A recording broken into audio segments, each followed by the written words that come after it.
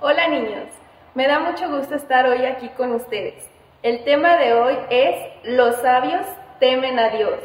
Nosotros tenemos muchos enemigos a los cuales tenemos que vencer y nosotros estamos hablando de un enemigo que todos convivimos día con día, que es el mundo, niños. En algún momento ya les pasó que hicieron algo donde tenían que tomar una decisión y por causa de una mala decisión ustedes terminaron desagradando a Dios? ¿Sí? Bueno, nosotros vimos cómo fue la historia de Sansón. Él fue un hombre elegido por Dios, niños, y él tenía toda la fuerza para liberar a su pueblo.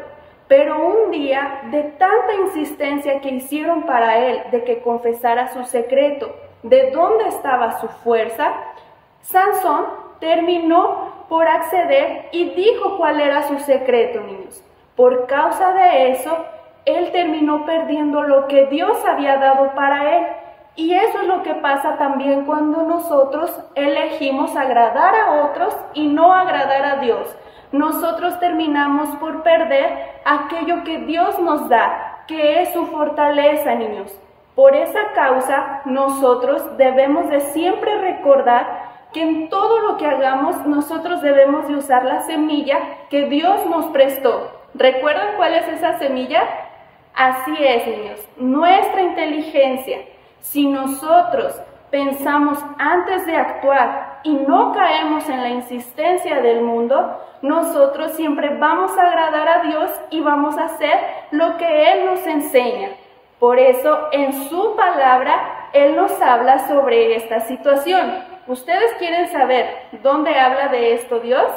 Abran su Biblia en Proverbios capítulo 9, versículo 10.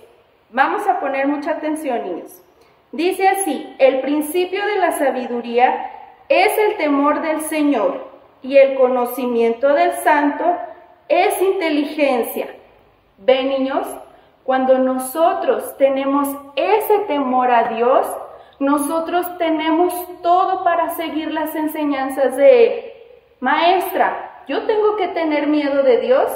No, niños, el temor es tener respeto por lo que Dios nos enseña. Si ustedes respetan las enseñanzas y no se dejan convencer por este mundo, seguramente siempre van a agradar a Dios, niños.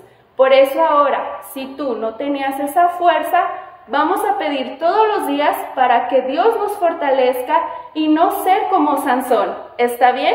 Yo los veo en la próxima. Adiós.